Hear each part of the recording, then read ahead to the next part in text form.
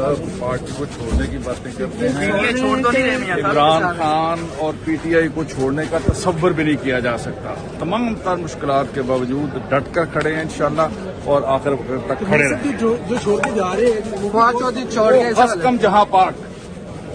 वो हमारी पार्टी में जो गड्ढा आंसर था वो निकल